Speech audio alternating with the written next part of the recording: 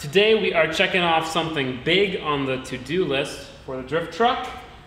We have the care package from Mishimoto. Inside here is our new radiator, our new fans, and our mounting kit for our fans. This is one of the last things we need to install before the truck is ready to be shipped off to have some other stuff done. So let's go ahead, unbox these two boxes, and see what is inside. This radiator and these fans are gonna keep the 1UZ nice and cool. Also, I just want you guys to notice something.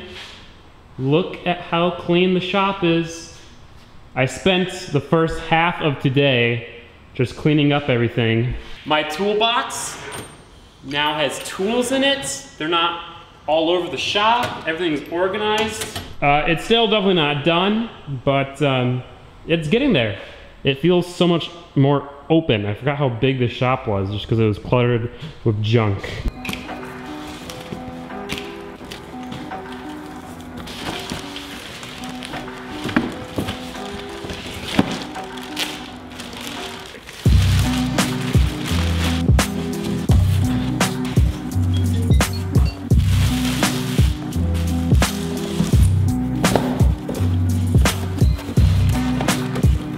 So this right here is our radiator. Pretty much about the biggest radiator I could find from Mishimoto that would fit in the truck. The inlet and the outlet are in the same factory location as the uh, 1UZ radiator.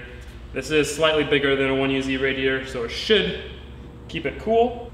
Tight, but they'll definitely fit. And you can totally see this really awesome radiator through the grill. Kind of see it tucked away in there. And it right now is just resting right here. Needs to go up a little bit. In order for it to go up a little bit, I just have to cut out this center support a little bit. And then we can just build some mounts, some little tabs on the bottom that connect it there, and then drill some holes up top to connect it. And then we should be good.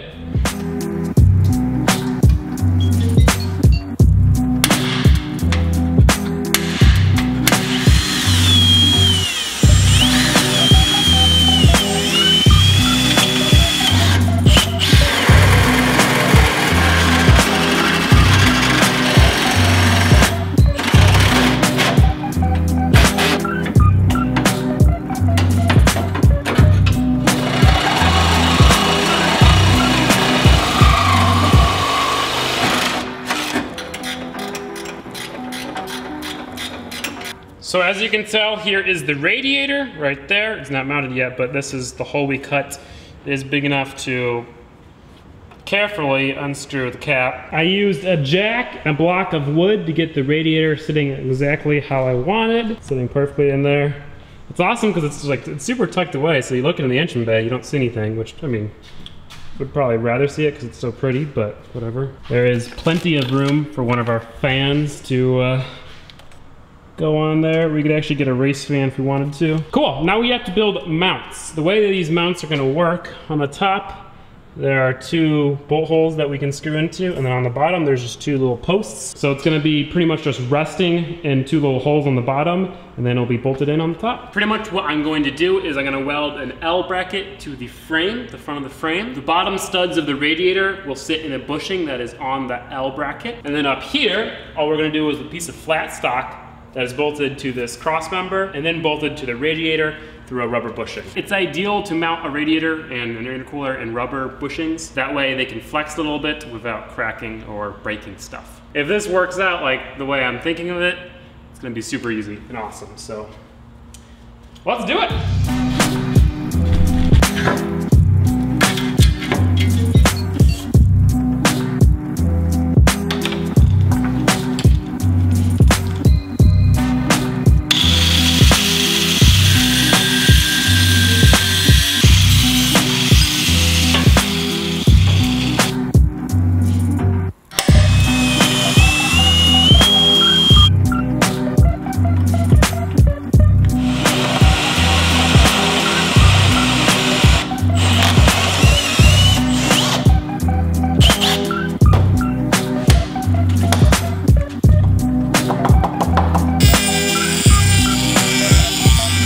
This is the bottom mount for our radiator. We go ahead and get this bushing in here, which is probably pretty difficult.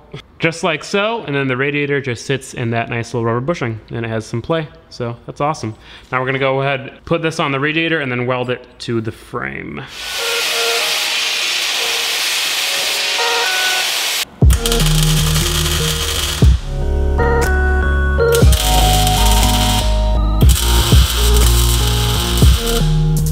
Really cool because now what I do is I slide this backwards and then it pops out. That's so cool. You can see the mounts down there with those bushings in there. Before I weld those up, I'm gonna make the top mounts.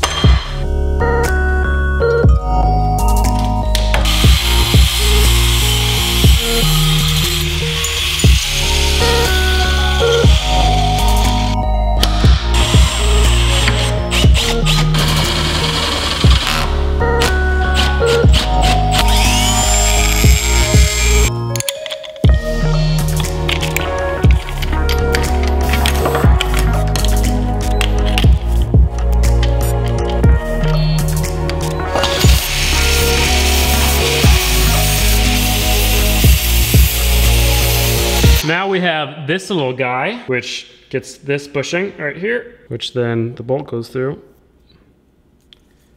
Now the bolt is suspended, so the radiator can flex. And then this part gets bolted to the cross member. Sorry for the terrible lighting.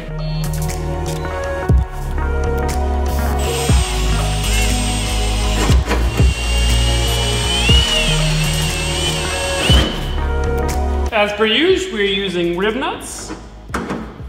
Best creation on man, of man.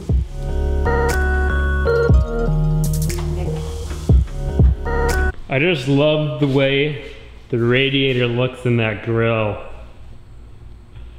You can see it so well. I think it looks so sick. You can actually see it better on camera. I think it looks worse on camera than it does in real life. Because on camera it kind of looks funky being able to see the radiator right there. But I think it's awesome. But yeah, I mean, that's pretty much it. The radiator is uh, is mounted. All I really have to do is clearance this hole a little bit more so it's easier to get the cap in and out. Mounts are pretty strong, but allow it to flex, which is great. Hopefully the stock coolant lines or coolant hoses for the 1UZ will work. I'm pretty sure they will. What I'm gonna go ahead and do now is pull out the radiator, paint these top tabs, finish rolling the bottom tabs, and paint the bottom tabs. It looks like my mounting kits for the electric fans didn't get delivered, so we have to wait to do that, but it doesn't really matter. We don't really need the radiator until you know, two weeks when it's ready to start. The one reason why I wanted to get it mounted is just so I knew everything worked and all that stuff. But I am positive that these fans fit, and they fit actually with quite a lot of room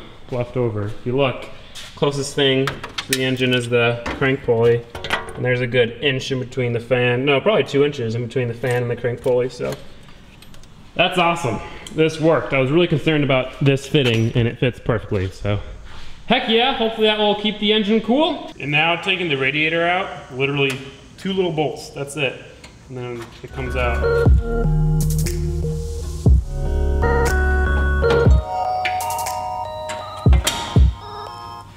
Two minutes.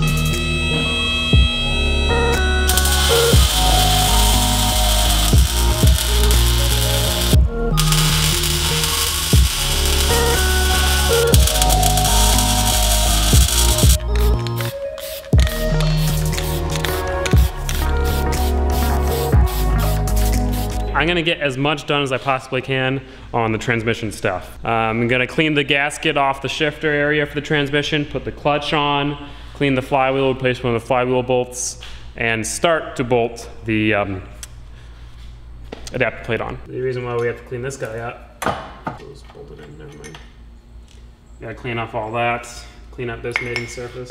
So I'm just gonna take a razor blade to this, this gunk. Wire brush and razor blade later, it's ready to go back in. Mating surface is nice and clean, but uh, I kind of stripped some of the paint. We're not gonna put this back on until the transmission is in the truck though, because obviously it'll be more difficult to put it in when there's this big stick attached to it. This has had a couple of days to dry, so let's go ahead and put that back in.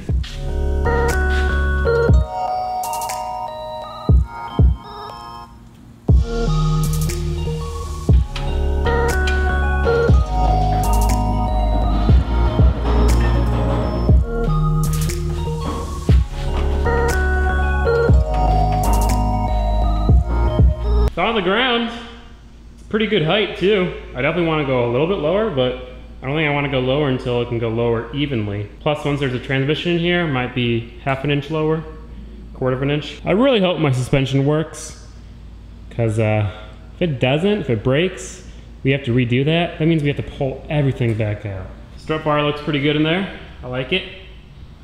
So, heck yeah.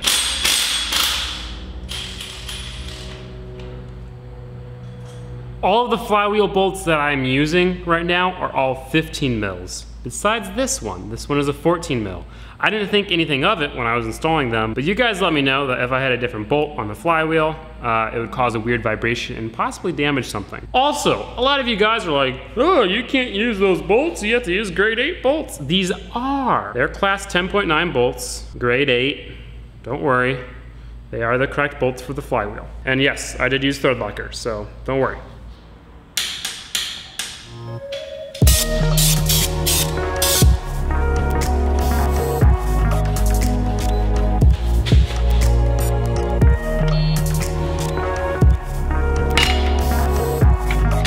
Oh look, the clutch bolts are right. According to the company that made the kit and sent me the wrong bolts, um, a different company does the packaging for the bolts, so it wasn't their fault. Uh, it was whoever they used as their bolt packer, which I believe. Clutch is on, that looks nice. So that's gonna be it for today. Literally the only thing that has to be done to the truck before it gets shipped off to have the headers made is the transmission. We have to put the transmission in, make a transmission mount, and it's done. Radiator's done, engine's in. Yeah, I think everything's done. Uh, there, there are some small things like coolant lines, vacuum lines that need to be tidied up, but I'm gonna do that at Mike's shop while we are wiring it up. Because there's no point in spending days of time doing it now where I could do it while it's being wired up. So yeah guys, that's gonna be it for this video. We are leaving the radiator out until uh, the, the the mounting little plates dry because I don't want to put them on now so it'll just ruin the paint. Uh, but hopefully you guys got to see what it looks like. It does look really awesome. Kind of weird, but really awesome. If you enjoyed this video, give it a like. If you didn't, give it a dislike. Yada, yada, yada. Uh, and I'll see you guys in the next one. So peace out and goodbye.